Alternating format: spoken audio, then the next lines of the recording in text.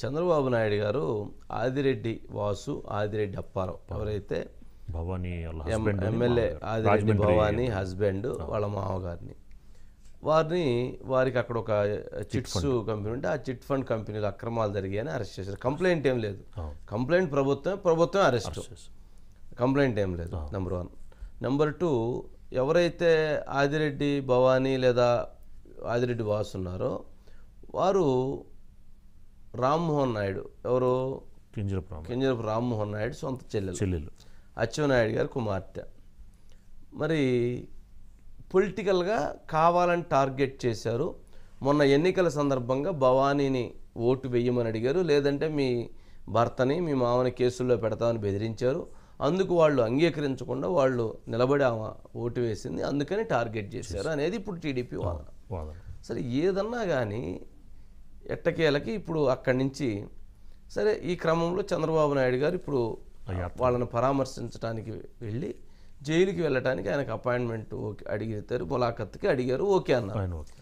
ఆ ములాఖత్తుకు ఓకే అన్నందుకు ఆ జైలర్ని ట్రాన్స్ఫర్ చేశారు. చేసి అంటే ప్రభుత్వం ఎంతటి అసహనంతో ఉందో అర్థమవుతుంది.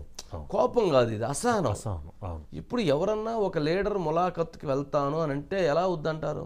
జగన్మోహన్ రెడ్డి గారు పదహారు నెలలు జైల్లో ఉన్నారు కదా అప్పుడు ప్రతి వారాల్లో రెండు రోజులు ఎవరైతే విజయమ్మ గారు అట్లాగే భారతి గారు వీళ్ళందరూ పోయి కలుస్తుండేవాళ్ళు.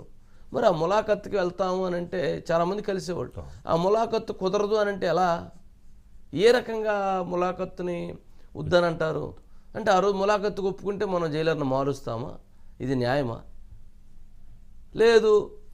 ఎవరైతే పరిటాల రవి హత్య కేసులో ఉన్నటువంటి ముద్దుసీను విచారణలో ఆయన జైల్లో ఉన్నప్పుడు ఓంప్రకాష్ అని డంబెల్ తోడు కొడితే చచ్చిపోయాడు అని చెప్పారు. కాదు అది కిరాతకంగా హత్య చేశారని చెప్పి అంటారు మరి ఆ జైలర్ని మరి అలాగే ఉంచారు కదా. అంటే మరి దాన్ని ఏమనాలి?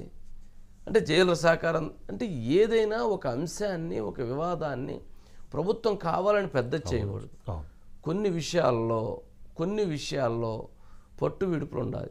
ఇంత టార్గెట్గా సిస్టమ్ని మేము చేస్తాము అని అంటే ఆ సిస్టమ్ రేపొద్దున మనల్ని కూడా అదే విధంగా తయారు చేసింది. మనల్ని కూడా అదే విధంగా ఇబ్బంది పెట్టింది. మరి ఆ మాత్రమైనటువంటి కనీసమైనటువంటి అవగాహన లేకపోతే ఎలా?